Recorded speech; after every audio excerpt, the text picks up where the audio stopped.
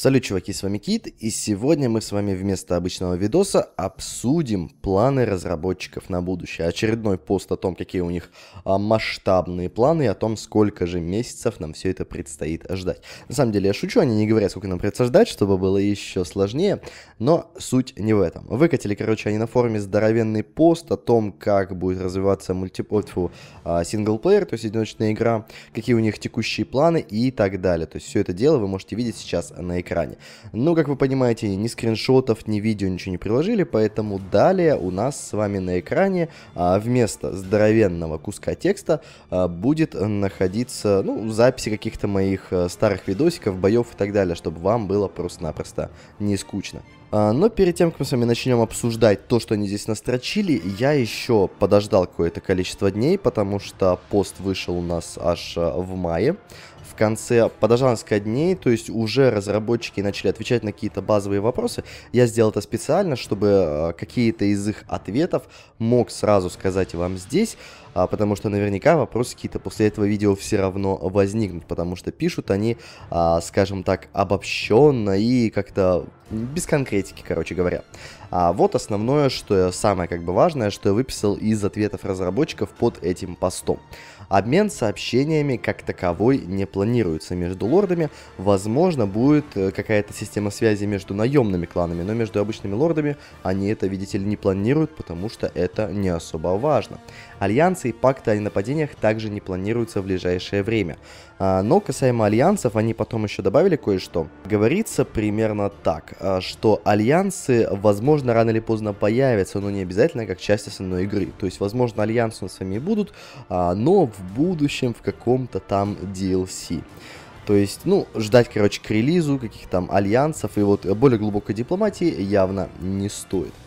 А, переход лордов к игроку сломает баланс. То есть, чтобы вы понимали, лорды могут переходить, ну, кланы полностью имею в виду, а, могут переходить полностью между королевствами, летать туда-сюда, а, но, естественно, если они будут переходить к игроку, это сломает баланс. Гениально? Конечно, просто потрясающе. Также они думают над системой а, полного уничтожения королевств. То есть какой-то чувак спросил, типа, ну это полная задница, потому что защищаться от королевств, которые без поселений, но у которых еще есть свои кланы, это сущий геморрой. Планируется ли система полного уничтожения королевств? И они говорят, что эту систему они рассмотрят и попытаются как-то а, изменить, во-первых, наказание за казни. Я так понимаю, его у более-менее облегчить с точки зрения а, отношений, штрафов и так далее. А, ну и пересмотрят систему уничтожения королевств, то есть как бы сделают ее возможной не только по компании, где ты уничтожаешь лишь определенное королевство, которое а, условно против тебя, а, но и все остальные даже в песочнице. А, планов по созданию кастомных баннеров нету.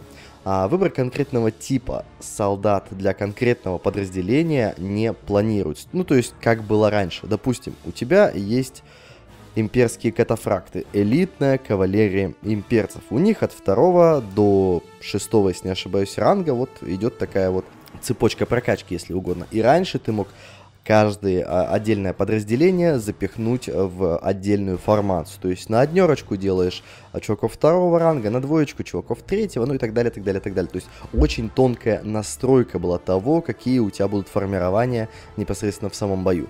Как вы знаете, сейчас все немножечко не так тонко, то есть а, очень э, профессиональные игроки не, смогут, не могут сейчас так тонко настраивать. То есть а, сейчас идет разделение исключительно по каким-то предметам экипировки, которые есть у наших бойцов.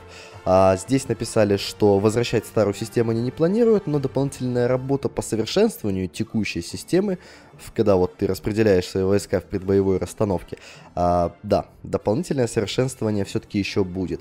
А, и мастерские второго уровня, которые меня тоже как-то спрашивали, а, в данный момент находятся в подвешенном состоянии. Все зависит от того, как покажут себя будущие корректировки в экономике, часть из которых описана как раз-таки вот в этом посте с планами а, на будущее.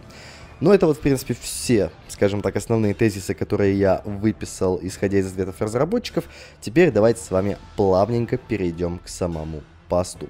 Стабильность и производительность останутся для нас главным приоритетом. Помимо этого вы найдете ряд других наших целей, перечисленных ниже. Обратите внимание, что сюда идут как общие, так и конкретные, а также краткосрочные, долгосрочные элементы. То есть сюда идет все подряд. То есть э, часть элементов, э, которая здесь описана, она уже априори не будет в следующем патче, а возможно и через патч, потому что э, здесь описано не то чтобы много инфы, но в целом, э, если, так сказать, все это впихнуть в какой-нибудь патч, это было бы сравнимо, но это было бы чуть-чуть больше, чем патч 1.7.0, чтобы вы понимали. А если это дело еще и распихают по нескольким патчам, то мы с вами можем этого ждать и еще полгода, а то и дольше. Типа здесь нет ничего такого сверхфундаментального. Парочка интересных функций, пересмотра баланса, ну а так как бы все. Ну ладно, перейдем уже к конкретике, хватит балаболить. Кат-сцены или уведомления о сценах впервые были упомянуты в посте о наших планах на будущее, то есть то, что было в прошлом августе. С тех пор мы создали несколько таких анимаций для различных сюжетных и мировых событий, чтобы добавить им больше веса. А, да, единственное, что я знаю, что они создали, то есть анимации я лично не видел, думаю, вы тоже. Да, создали они уведомления о объявлении мира, выкупе, вот это вот все, но как таковых кат-сцен или хотя бы уведомлений о них пока что нет. То, то есть я понимаю, это то, что будет а, в будущем, скорее всего в ближайшем.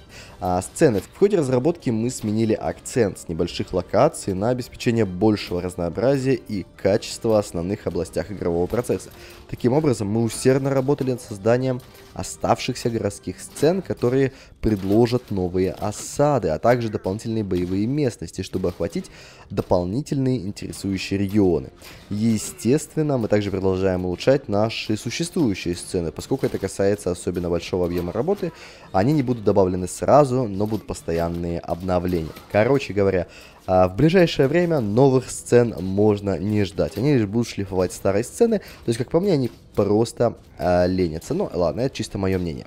Осады представляют собой один из самых сложных игровых процессов, и мы продолжаем полировать многие части, составляющие эту головоломку. А, да, полировать. Настолько они хорошо ее полируют, что в 1.7.2 ты даже не можешь натыкать себе таран, башни и другие осадные орудия, просто потому что эти значки к хренам собачьим исчезли. И ладно, когда это был бета-патч, они уже выкатили его в основную ветку, уже ход-фикс какой-то выкатили, и все равно ни хрена не работает. Потрясающе полируют эту головоломку. А чтобы привести недавний пример, мы пересмотрели способ, которым атакующие защитники ИИ используют переброску войск между формациями в осадах. Это было сделано, чтобы сократить количество перемещений в неудобное время. Ну, то есть, когда условно пехотинцы с ворот а, перемещаются на стену. Туда-сюда, короче, летают, когда, естественно, и все дело контролируют, а, чтобы лучше проворачивать защиту или, наоборот, нападение. Ну, защита это может как-то еще и работает, но с нападением это как была задница, так и осталось.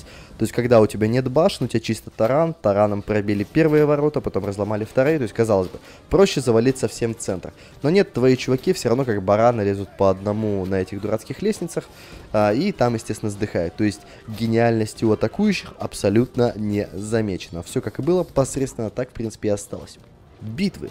Хотя бой, безусловно, является одной из сильнейших сторон игры, всегда есть вещи, которые нужно улучшить. Одна из них это способ, которым подкрепление выходит на поле битвы. В частности, мы работали над средствами для предотвращения случаев кемпингов спавна и внезапного появления войск посреди активного боя.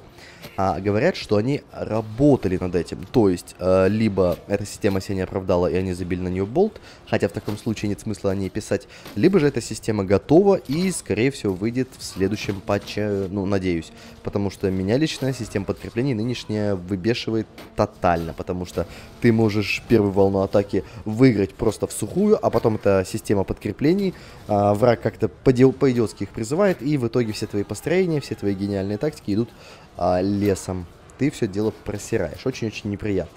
Если это говно исправят, хотя бы сделают его чуть-чуть получше, я уже буду счастлив. А, далее, эффективность брони. Это была тема страстного обсуждения, и мы рады сообщить вам, что мы близки к выпуску изменений, направленного на повышение эффективности брони. Это не приведет к принятию системы боевых отрядов, но будет способствовать усилению защиты. Что за система боевых отрядов, я понятия не имею, может кто-то из вас знает, можете написать в комментах. Что касаемо брони. А броня как бы с самого выхода игры в ранний доступ, это по факту лишь декор. Потому что неважно, одет ты в ссаные тряпки с самого начала игры, либо ты уже купил самый топовый доспех, камни мародеров без проблем проделают в тебе дырку и в твоих, естественно, доспехах. Это дико бесило меня, дико бесило много кого еще, и если это исправят, будет волшебно. Вопрос лишь, когда они это исправят. Мы же знаем, с каким темпом работают Tail Worlds, а, а в последний год они еще медленнее начали работать. И мне кажется, с годами это будет только усиливаться, поэтому пес его знает, когда это все дело введут. Битва главного героя со смертью. Учитывая всю дополнительную броню, о которой они толком ни хера не написали, кроме того, что они что-то там изменят, возможно, пришло время поднять ставки. То есть, как я понимаю, а, будет больше, больше шанс главному герою помереть и в более ранний срок. То есть, а, у меня впервые умер персонаж в одном из последних прохождений, которое было на стримах. Ему было порядка 60. То есть, возможно, они сделают, а, допустим, условно с 40 твой персонаж может э, помереть. А, улучшение боевой механики. Мы пересмотрели боевую механику для сбивания с ног, спешивания, отталкивания, а также убрали из этого дела случайный фактор, чтобы обеспечить более надежный и предсказуемый опыт для игроков. Помимо прочего, мы также ввели новую переменную сопротивление, которая зависит от навыков персонажа. Это позволит нам сделать некоторые войска и героев менее уязвимыми для этой механики а также позволит игрокам развивать своих персонажей, чтобы они также становились менее уязвимыми. А, не знаю, как вы, я ни разу не видел, чтобы хоть один вражеский NPC, лорд или еще какой-то хрен а, применял удар щитом, удар с ноги, то есть то, что тебя сбивает с ног. Да, есть, конечно, сбивание с ног, когда на тебя лошадь налетает, но это мелочь, это случается крайне редко, то есть когда ты идешь там в чистом поле против толпы кавалеристов, даже если тебя не будет сбивать с ног, тебе это особо не поможет, тебя там все равно поимеют, раз ты оказался в куче кавалеристов, когда ты там один пехотинец. И отдел десятое. А, повысит они сопротивление. Ну окей, какая к черту разница, если NPC эту тему не используют практически. То есть это реально прикольные фишки. Да, они сейчас в принципе бесполезные. То есть а, по сути такая механика должна действовать так. Ты а, даешь по лицу а, своему врагу, то есть пинок ногой, удар щитом, неважно. И ты должен успеть один удар э, одноручным оружием нанести так, чтобы враг не смог его заблокировать. А в нашем случае он без проблем это делает. Типа вообще. А, бывают редкие исключения, но это скорее фортуна, нежели что-то серьезное. Так что я не знаю, есть ли смысл вообще вот в, улучши... в так называемой улучшении боевой механики. Эти сопротивления нахрен никому не сдались, потому что враги против тебя это не применяют. Просто-напросто. Ну ладно. Улучшение искусственного интеллекта армии. Это просто самый э, ржачный пункт из всего этого поста. Ну, вы просто послушайте. В последние месяцы мы потратили немало времени на проверку, корректировку и тестирование армейского ИИ. И по сути, мы поставили перед собой следующие задачи. Меньше патрулирования, больше осады, меньше голодовки, больше осады, меньше вербовки, больше осады, лучше управление сплоченностью, больше осады. Мы также не любим армии в мирное время. Чё это сейчас было за говно? А, как бы я сначала думал, что это перевод кривой, но в принципе, когда включил на английский, а, смысл остался тем же самым. То есть, э, как будто дали не знаю, десятилетнему ребенку все это написать. Не, я понимаю, что вот эти вот э, голодовки, долгие вербовки, э, дерьмовое управление сплоченностью, это все нужно решать в армиях, и, безусловно, у них с этим гигантские проблемы. Но написать это вот так, это пиздец. А, ладно, идем дальше. Шаблоны вечеринок. Да, тут, тут, тут. А, идея отряда, отражающих предпочтения их лидера, претерпела несколько итераций с тех пор, как мы впервые поделились ею. Тем не менее, мы по-прежнему намерены придерживаться подхода, который взвешивает набор и повышение квалификаций в соответствии с этими предпочтениями. Первоначальная, готовая к выпуску реализация близка к завершению, и мы надеемся, что в скором времени а, приведем ее дальнейшую оценку на основе отзывов игроков. А, не знаю, как вы, а, все, что я понял, это, как сказать, взаимодействие вашего персонажа и его спутников. То есть э, выбираешь конкретную характеристику, типа разведчик, хирург, инженер, там кто-то там еще есть, я уже не помню, квартирмейстер, кажется. И вот эти вот чуваки как-то лучше осваиваются своей профессией, быстрее качают и так далее. Это все, что я понял из вот этой вот бильберды, которую только что прочитал. Потому что отряд, отражающий предпочтения их лидера, что это, блядь, значит? Нельзя написать конкретно. Отряд будет сильнее, э, там, не знаю, зависеть от характеристик своего правителя и его приближенных. Там, это будет влиять так-то, так-то, так-то. Какие-то, блядь, примеры. Не, это просто все обобщенно написали, и ты вот сиди, Э, и без бутылки, как говорится, здесь уже не разберешься. Ну, черти что. А, ладно, еще один интересный пункт, который как бы реально интересный, с одной стороны, с другой стороны, а, пахнет говной. А, смотрите, мы рассмотрели условия и последствия дезорганизованного государства, которое временно ослабляет отряды и армии в этом государстве после недавних проблем, чтобы сделать его более значимым и последовательным. То есть, с одной стороны, нам говорят, что государство после каких-то проблем, я так понимаю, когда армия проиграет в битве или после э, поражения в войне, то есть заключают они там мирное соглашение, в котором они платят. Соответственно, они считаются проигравшим государством в этой войне. Они становятся дезорганизованными, у них будут какие-то проблемы, э, все это понятно. Но опять же, никакой, блядь, конкретики. Вообще никакой. То есть э, какая-то сраная билиберда. То есть это может э, быть довольно-таки интересной системой. То есть после того, как ты разгромишь там одну, две, три армии, они не смогут какое-то время нанимать быстро новые армии, а с этим сейчас гигантская проблема, потому что и набирает людей просто по щелчку, ты не успел убить одну армию, они уже привели вторую, третью, десятую, и ты не успеваешь нападать, потому что ты все время занимаешься сраной защитой. Если это говно исправит, зашибись. Если что-то еще, я... Ну, просто я не знаю, что еще может быть выражено в дезорганизованном государстве. Пес его знает, все очень непонятно. Разнообразие предметов. Что за воин без оружия? Стремясь увеличить общее разнообразие снаряжения, мы работаем над рядом новых предметов для крафта, а также делаем некоторые из существующих предметов доступными для дополнительных типов оружия. Вот второе, вторая часть предложения мне вообще непонятна. Делаем некоторые из существующих предметов доступными для дополнительных типов оружия. Какие, блядь, дополнительные типы оружия? Что вы имеете в виду? Я понимаю, новые предметы для крафта, новые там детали, все это ясно. А вот второе я ни хрена не понял. Но пес с ним. Капитальный ремонт разблокировки крафта. С этим более широким набором предметов для крафта мы также еще раз взглянули на то, как работает крафт. Нам не очень нравится. Да никому, блядь, не нравится что все предметы для крафта разблокируются из одного и того же источника. То есть, когда ты делаешь тупо двуручные мечи и открываешь все подряд. Копья, топоры, еще какую-то хрень, ну и так далее. Вместо этого мы хотим дать больше ощущения специализации. Таким образом, будущим кузнецам, например, а, нужно будет создавать топоры, чтобы разблокировать части из новых топоров. Ну, думаю, здесь все понятно. Хочешь себе крутой двуручный меч, делай чисто двуручные мечи, и у тебя будут открываться от него части. А, в этом есть смысл. Кстати говоря, совсем забыл, а, разработчики еще, ну, в ответах под этим постом писали, что они не планируют делать крафт луков и арбалетов. То есть э, из этого исходя вы можете сразу понять, что если не, не хотят делать а, дальнобойные виды оружия для крафта, то о доспехах можете даже и не мечтать. Потому что ну, луки сделать, думаю, или, ладно, окей, арбалеты, не так уж и сложно для крафта. Ну, сделай там парочку деталей, соединяться там как долбанный покемон, а, и будет у тебя арбалет. Это не сложно. Это вообще не сложно, учитывая, что у них есть. Доспехи уже дело десятое. Но если они хотят делать такую мелочь, то за доспехи они точно браться не будут, потому что у них другие цели нынче. Ну, вы поняли, да? А, как-то так. Симуляция. И в данном случае экономика. Хотя это было всегда важно для нас, в последние месяцы мы решили рассмотреть и решить две проблемы. Две проблемы в экономике, ну да. Мне кажется, немножечко больше. Во-первых, некоторые товары в целом были слишком прибыльными, а другие не имели достаточной региональной ценовой дифференциации. Для тех, у кого нет экономического образования, скажу, что а, некоторые предметы имеют такое свойство, как а, разная стоимость в разных городах. Типа дерево в Оксхолле стоит 9, а дерево в Хусенфулке где-нибудь или в Аскаре а, стоит 20. Это и есть региональная ценовая дифференци...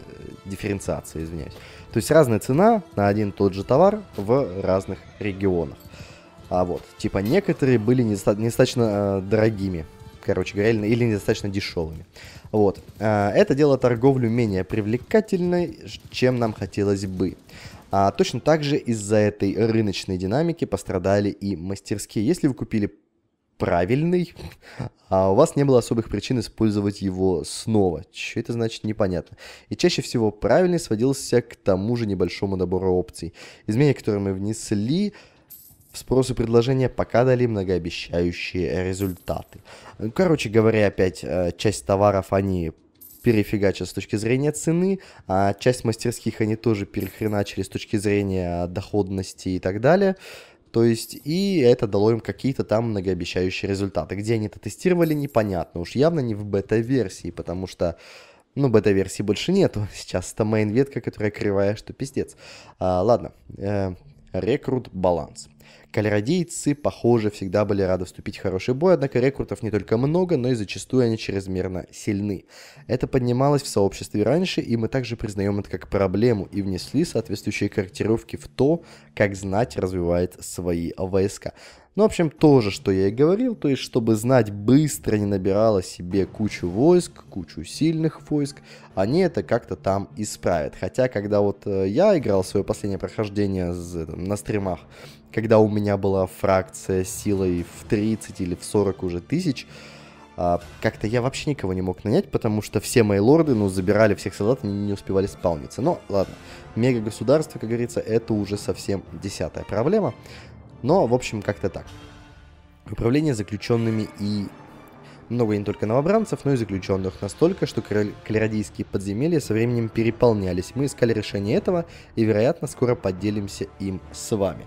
Скоро это явно не сейчас, судя по всему. Видимо, еще планируется через два месяца, когда они, возможно, выпустят следующую бета-версию. Они, может быть, чем-то и поделятся. Сейчас, видимо, после двух с половиной или даже уже трех месяцев ожидания, видимо, им времени еще недостаточно. Но, как бы да, проблема существует, подземелья переполнялись, и я к союзным лордам никого, ну, через какой-то промежуток времени не мог закинуть, потому что, да, там была просто жопа. Детское поколение. Несмотря на наши предыдущие поправки на взрослое население, все еще осталась проблема с первоначальным разрывом между поколениями. Ну, то есть, э, взрослые умирают, а дети не успевают вырасти к этому моменту, соответственно, из-за этого кланы вымирают. В этом есть проблема, как бы. Чтобы решить эту проблему, мы, вероятно, создадим дополнительных детей разного возраста в начале игры для любых кланов, которые подпадают под заданный лимит участников этого клана. Кроме того, это также должно сделать э, некоторые кланы более жизнеспособными. Ну, то, что я и говорил. То есть будет просто больше пиздюков, которые довольно-таки быстро вырастут, типа через год, два, три после старта кампании.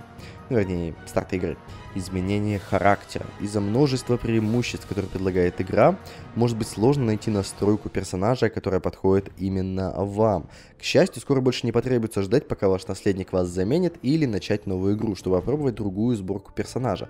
А вместо этого вы сможете изменять привилегии своих персонажей и членов клана во время игры. А, я, конечно, не гуру, но готов поспорить, что они просто-напросто введут а, небольшую систему сброса к хренам собачьим ваших навыков, атрибутов и прочего. Левел останется, но все это все э, к чертям собачьим скинется вместе с вашими выбранными а, бонусными талантами. И вы просто заново все это перекачаете. Как-то так. Конечно, правда, это будет сложно реализовать, учитывая, что, ну, окей, ты вкинул навыки, вкинул атрибуты, а как вернуть опыт, который ты получил, вкачивая, допустим, ну, условно, ты вкачал медицину до двух сотен, а как вернуть вот эти вот 200 только в какой-нибудь другой навык, не особо понятно, но думаю, как-нибудь они с этим делом тоже разберутся. То есть что-то в этом роде будет, как я понял. А получение опыта навыков. Развитие персонажа – важный аспект игры, основанный на принципе обучения на практике. Хотя в целом это работает, мы считаем, что некоторые навыки еще не обеспечивают адекватного прогресса. К счастью, вышеупомянутые изменения в экономике должны помочь торговле. Кроме того, мы также работаем над более индивидуальными настройками для всех навыков, а, в том числе лидерства, мошенничества и инженерного дела. Мы с нетерпением ждем ваших отзывов по этому поводу. Значит, если не ждут отзывов, значит, эта херня уже будет в следующем патче, который мы а, дождемся, видимо, когда мне стукнет 30. А, так, погружение и качество жизни. Есть множество корректировок, которые так или иначе относятся к этой категории. Ниже вы найдете несколько из тех, которые показались нам интересными. Дополнительные предложения и мы были очень довольны примером и влиянием выкупа искусственного интеллекта и предложения мира игроку. Если я найду на монтаже, я точно вставлю дикий сука ржач по этому поводу. Нет, э, Поймите меня правильно. Сама система того, что тебе предлагают мир, предлагают э, купить э, своих или продать чужих пленных лордов, это шикарно. Но то, как это работает, это тотальная жопа. Потому что ни раз у меня была такая фигня, они такие, типа, вот мы хотим забрать у тебя своего персонажа, вот тебе 10 тысяч. Ты такой нажимаешь ОК, они дают тебе вместо 20 тысяч 5 или вообще ни хрена не дают, и все, и типа иди соси лапу. Тоже, э, примерно то же самое с предложением мира, когда ты просто натягиваешь государство, забираешь половину его территории за одну войну, все его территории, не суть важно. И он такой, так, ты порвал меня просто в задницу. Ты забрал у меня в процессе войны парочку кланов, забрал все поселения. Знаешь что, давай ты будешь платить мне 20 тысяч ежедневно, потому что иначе, иначе вот я тебя точно порву. Ну, типа, это говно просто лютейшее. Вот эти вот э, ценовые вопросы именно. Нет, сама система хорошая, а вот цены, типа, вот просто как это все работает, через жопу. Ну ладно, а, новые уведомления сделают мир более живым, то есть они еще таких уведомлений добавят, чтобы вы поняли. А мы, они изучают такие уведомления для брака, наемнических контрактов и вассалитета. То есть а, предлагать вассалитет, как я понял, будут вам, потому что а, ответы разработчиков, которые я читал в самом начале, а, гласили, что если вассалы будут присоединяться к игроку, это нарушит баланс. То есть вам будут предлагать стать наемником, возможно, наемники к вам захотят присоединиться, но вассалитет будет предлагать, типа вам предложат стать вассалом, а не вассалы будут приходить к вам. Ну, еще и брак, да. А, информация по энциклопедии. Всезнающая энциклопедия не только мешает погружению, но и несовместима с нашей механикой разведки. Чтобы решить эту проблему, мы работаем над аналогичными ограничениями энциклопедии, которые создадут что-то вроде тумана войны для тех, кто еще находится в недосягаемости игрока или его агентов. Но сразу вам скажу, что туман войны можно будет выключить в настройках, так что не парьтесь. Кто не хочет страдать фигней с туманом войны, может его не включать. Это для самых жестких.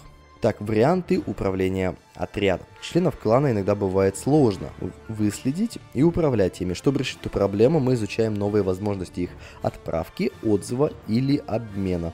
Ну, то есть, условно, мы всегда сможем направить какого-то лорда, леди, там, ну, из нашего, естественно, отряда куда-то. То есть, насколько я помню, такая же система была в Арбанде, когда ты говоришь, вот ему, жди меня вон там, типа, вот в моем поселении и так далее. А, что-то вроде того у нас, по идее, с вами должно быть. Гражданские сцены. В наших городах и замках есть ряд персонажей NPC, которые могут участвовать в многочисленных мероприятиях, чтобы оживить локацию. Однако замки, в частности, еще мало населены. Это должно быть улучшено в будущих версиях игры, так как мы увеличили население и использовали несколько точек анимации в ряде поселений, что бы это, блядь, не значило. Но все равно эти персонажи довольно-таки не полезные, побольше своей. Ну, типа, они максимум дают задания и предлагают тебе создать собственный караван, но это не прикольно. А, кстати говоря, насчет NPC спрашивали еще, ну, типа, насчет банд, когда вы всю эту херню сделаете, у них это сейчас не в приоритете, так что банд в ближайшее время не ждите. Э, но мод на банды уже есть, обзорчик в ближайшую неделю, следующую, а, будет на канале, так что на банды, в принципе, насрать, потому что мододелы уже все сделали за разработчиков. Ну, в общем, как обычно. А, так, карта мира. Как и кат-сцены, карта мира может создать или разрушить погружение, поэтому мы решили уделить некоторое время проблемами с телепортацией, плаванием и вращением группы среди ряда других настроек. Конечно же, мы всегда продолжаем полировать актуальную карту. Ну, в общем, опять ни хрена конкретного нам с вами не сказали. Аудио. Улучшены звуки поискового интерфейса, мы добавили новые звуки по всему интерфейсу, пересмотрели существующие, новые, ну, короче, просто добавили новых звуков и физические звуки лошадей, особенно когда они умирают. Я думаю, именно это именно то, чего вы ждали последние месяцы. Вот это вот те нововведения, которых мы достойны. А, ну вот, и в принципе это уже финал, потому что, как вы наверняка заметили, внимательные читатели, есть темы, которые мы еще не рассмотрели. В наших планах на будущее мы говорили о знаменосцах, квестах претендентов, вылазках и озвучках.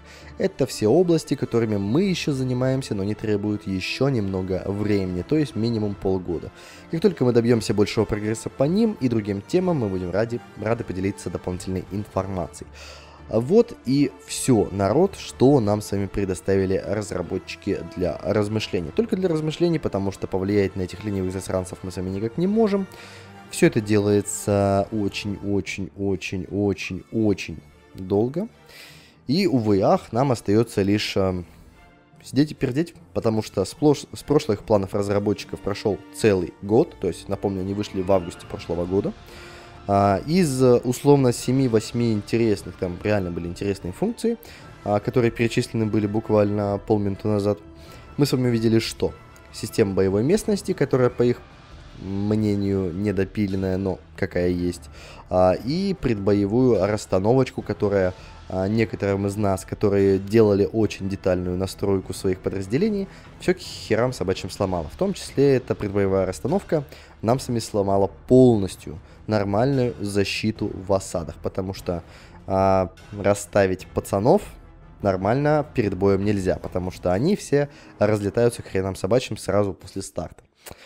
То есть, э, если мы год ждали двух функций, ну, по факту мы подождали их полгода, их ввели и до сих пор теоретически пытаются дошлифовать. Все остальные мы с вами так и не увидели. Сами думайте, сколько нам с вами ждать вот этого вот еще всего. То есть они обещают, обещают, но ни хрена, ни хрена не делают. А, ладно, в общем, хрен с ним, хватит бомбить. А, делитесь об этом всем своим мнением в комментариях. У меня там все. С вами был Кит и всем покеда.